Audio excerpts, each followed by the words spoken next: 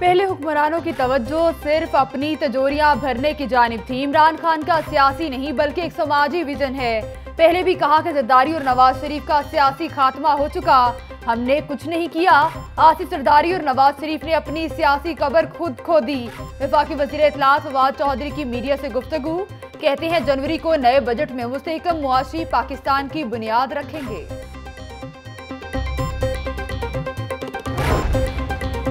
عمران خان کے سپاہی کی حیثیت سے آل پاکستان لوٹ مار اسوسییشن کا مقابلہ کرتا رہوں گا۔ جھوٹے پروپیگینڈے اور خبروں کے پیچھے آل شریف اور آل زرداری کا ہاتھ ہے۔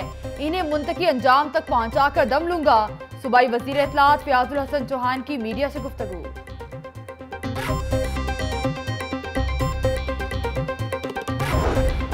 آمدن سے زائد اساتذات کا کیس، شریف خاندان کے خلاف ایک اور کیس کی تیاری شروع۔ ہنڈی کے ذریعے کروڑوں روپے منتقل کرنے کا انکشاف۔ حمزہ شہباز، سلمان شہباز اور شہباز شریف کے خلاف متعدد افراد نے بیانات ریکارڈ کرا دیے۔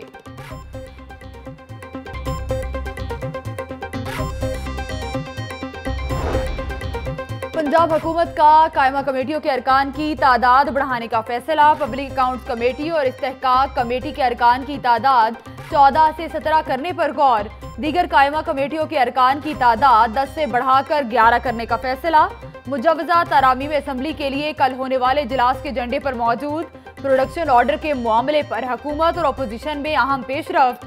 پروڈکشن آرڈر کے اختیار کی ترمیم کل اسمبلی میں پیش کی جائے گی۔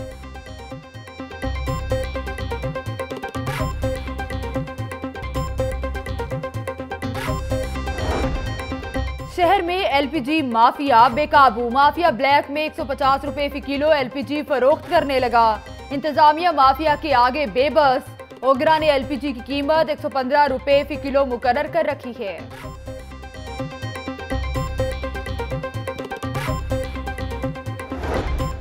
پنجاب سٹیڈیم میں کبڈی کا عالمی مقابلہ۔ پاکستان اور بھارت کے پہلوانوں میں زور آزمائی۔ شائقین پرجوش، گھڑ ڈانس کا شاندار مظاہرہ۔ ڈھول کی تھاپ پر بھنگڑے۔ سلامت پورا میں مارشل آرٹ سینٹر میں جوڈو کراٹے کے مقابلے ننے منے بچوں نے جوڈو کراٹے میں اپنی مہارت دکھا کر خوب داد پائی۔